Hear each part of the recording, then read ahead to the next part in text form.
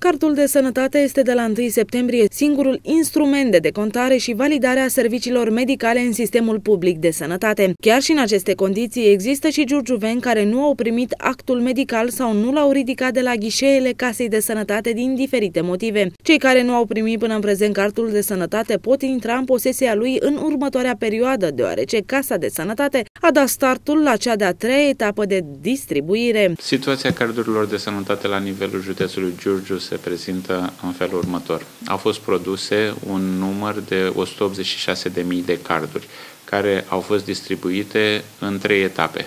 În această perioadă ne aflăm în a treia etapă de distribuire a cardurilor. În urmă cu 20 de zile s-a primit de către compania Poșta Română un număr de 9690 de carduri care în această perioadă sunt uh, în curs de distribuire. Din cele două etape de distribuire, circa 2500 de giurgiuveni nu și-au ridicat cardul de sănătate din lipsa unui medic de familie ori din cauza faptului că nu se află în țară. Există însă și cazuri în care beneficiarii actului medical deja l-au pierdut. Avem și 415 persoane care au declarat cardul pierdut. Nu știm exact numărul celor care l-au pierdut, dar uh, persoanele care s-au prezentat la ghișeele casei sunt în număr de 415 iar pentru a dobândi un nou card, un duplicat al cardului de sănătate, trebuie să, să completeze o cerere, o copie după actul de identitate și să achite suma de 15 lei 50.